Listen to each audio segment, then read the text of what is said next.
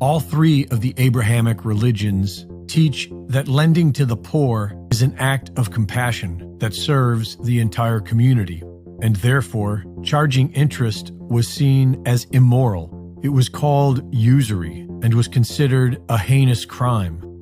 The Roman Empire allowed usury, but in 1179, the Catholic Church decreed that usury was forbidden. This law did not apply to Jews. While the Torah admonishes usury, Talmudic law allows a Jew to practice usury with a non Jew, and so money lending became primarily a Jewish business.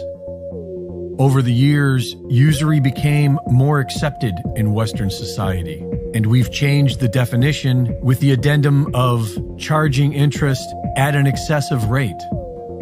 In the 17th century, the Bank of England began issuing paper fiat money. This gave the banks the ability to simply print money out of thin air. And for over a century, this was rightfully called out as fraud until it became public policy known now as fractional reserve banking. What was once seen as immoral is now seen as normal. Many assume that the financial loans given out by the banks are coming from savings they hold for their depositors. But this is not true. When someone takes out a loan, the bank creates new money out of thin air and then charges the person interest to borrow it. Fractional reserve banking allows the banks to legally create 10 times the amount of each deposit. This inflating of the circulating currency devalues that currency and allows the banks an opportunity to profit dramatically. The Federal Reserve Act of 1913 began a system of debt designed to inflate beyond its means until it implodes, the exact opposite of sound money.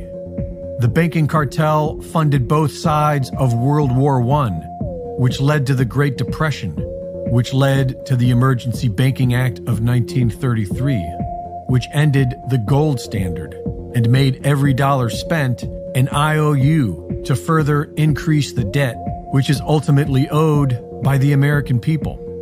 The banking cartel funded both sides of World War II, which led to the Bretton Woods monetary system which made the USD the world reserve currency and gave central banks the option to go straight to the gold window of the US Treasury to exchange US dollars for physical gold.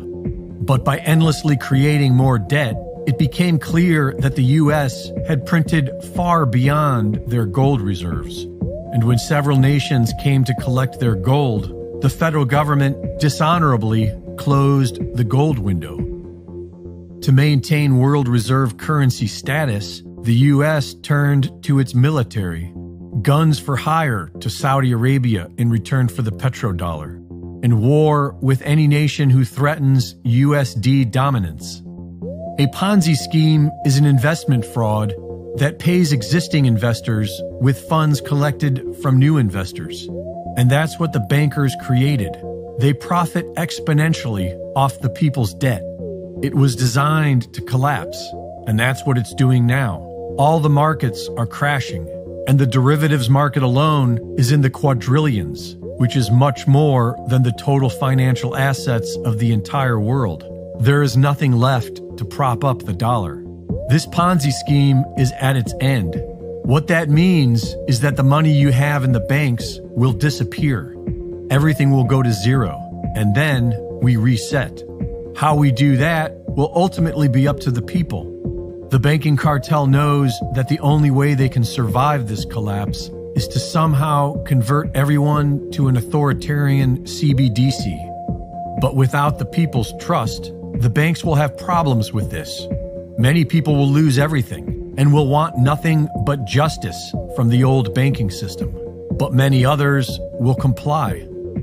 Hard times are coming fast and if we were smart, we'd prepare, let the big banks die, and create a banking system that serves we the people. Reporting for InfoWars, this is Greg Reese.